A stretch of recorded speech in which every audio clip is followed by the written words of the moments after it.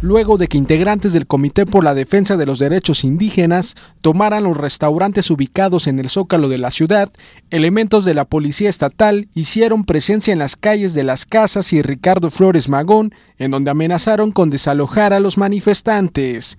Por un lapso de una hora, CODEDI y Policía Estatal se vieron cara a cara e integrantes del comité vociferaron protestas en contra del gobierno del Estado y de la misma corporación policiaca.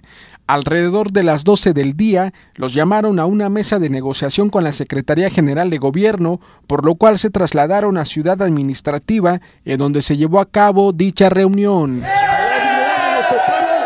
Cueste lo que cueste. Preferimos estar siendo cientos en la tumba a que el día de mañana que digan que nosotros no respetamos nuestra Carta Magna. Nosotros sí la respetamos y estamos haciendo valer un derecho que nos confera nuestra Constitución, el derecho a la libre manifestación. Y una razón muy fuerte, llevamos más de 15 días pidiendo diálogo todos los días. Por la mañana, mediodía, en la tarde, comunicando con los funcionarios, queremos que se instale una mesa de diálogo.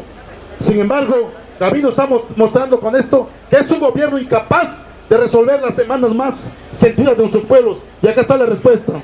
Elementos de la policía se mantuvieron en dichas calles hasta la espera del resultado de la mesa de negociación. Mientras tanto, integrantes de la sección 22 de la Coordinadora Nacional de Trabajadores de la Educación han empezado a retirar sus casas de campaña ante un posible desalojo en el Zócalo capitalino.